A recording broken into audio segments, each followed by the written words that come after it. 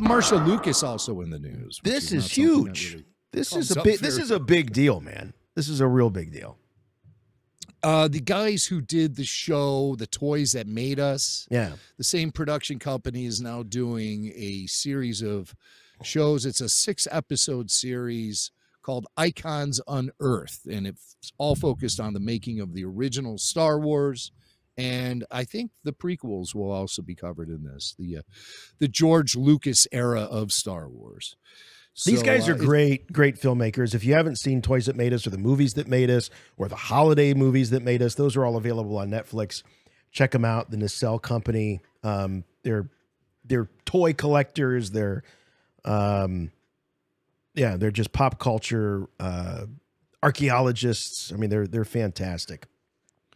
So the big deal about this show is the fact that they got Marcia Lucas to sit down on camera and answer Huge. questions about Star Wars. I mean, um, Marcia has been very quiet about Star Wars, uh, and George Lucas has done, er, you know, in the as, as the proud tradition of Lucasfilm controlling people and everything. I mean, George Lucas went out of his way to bury her and um, diminish any sort of um, contributions she made to Star Wars, and and he acted that way as a as a spurned former husband. You know, Sure. He got It went he got it burned. deep. Well, Marcia left him. Marcia Yeah, left him, right. and uh, she she left him high and dry with the two year old at home, and uh, it's it's really unsavory the way that all went down too. So you can I, I I can sympathize with George Lucas and the way he wants to uh, maintain the history of Star Wars and remove his ex wife from that history. I mean, Yeah. he's bitter. He's bitter, and he has all the right in the world to be bitter. Hard to do when she's the editor of the films. I mean, that's One of the editors. One yeah, of the one of the editors. Yeah, there there were actually four editors on Star Wars. You had uh, uh, Paul Hirsch, you had Richard Chew, you had Marcia Lucas, and you had George Lucas too. Uh, George doesn't take a credit for being an editor, but he's an editor naturally. That's what he does. Yeah. Um, more so as far as filmmaking goes, George Lucas probably considers himself an editor more than a director. That's his favorite part. It's his favorite Yeah. part of of, of filmmaking. Um, but we've you know we've heard Marcia Lucas referenced in things like the unauthorized history of Star Wars, for example, and there's uh, quotes in there from people that know George quite well and know the, the the story, the history of the making of the film. And yes, there were other editors, but she was a major, major uh, figure in crafting Oh, that yeah. movie. Well, No question. obviously. I mean, I mean, she's a filmmaker herself. She has very creative mind, and she was George Lucas's confidant during this period of time. You know, Yeah. he really. Uh, I mean, they had a strong and healthy relationship. It was all another pillow talk. Jimmy Mac. It was all pillow talk. Is that how you get through to George Lucas?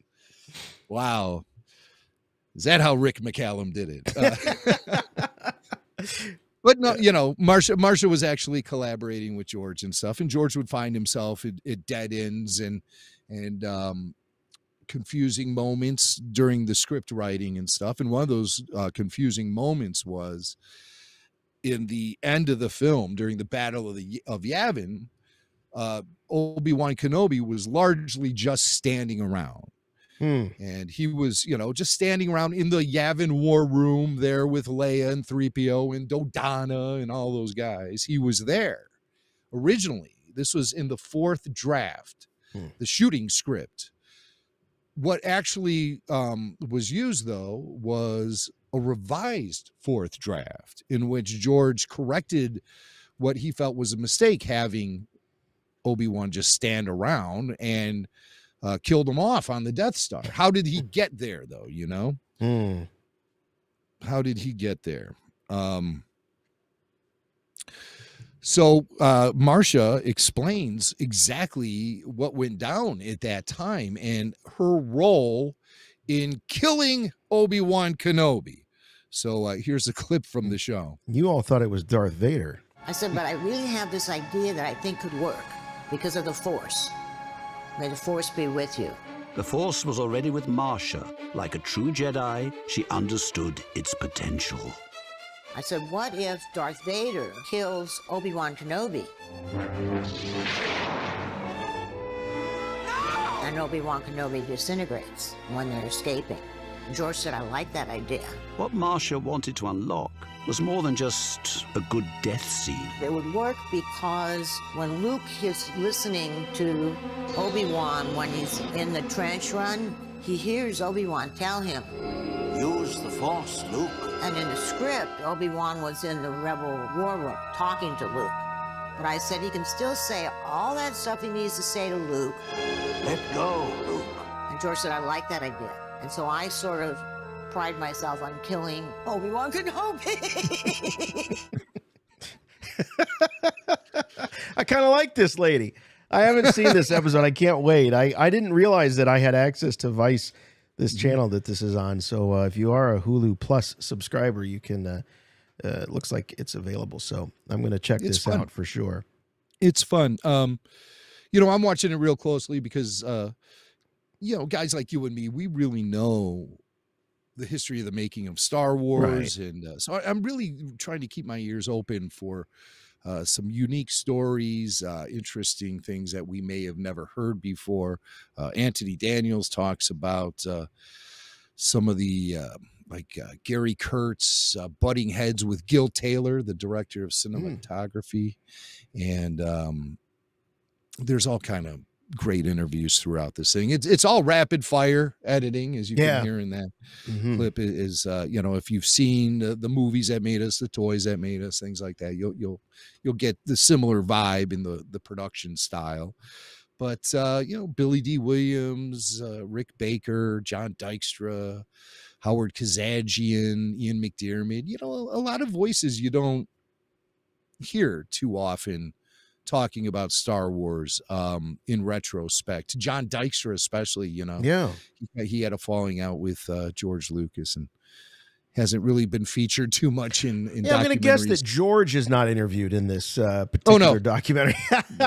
That's He's why. retired. That's why you're getting all of these uh, amazing scoops with these other figures that have not, you know, been a part of the official narrative for such a long time.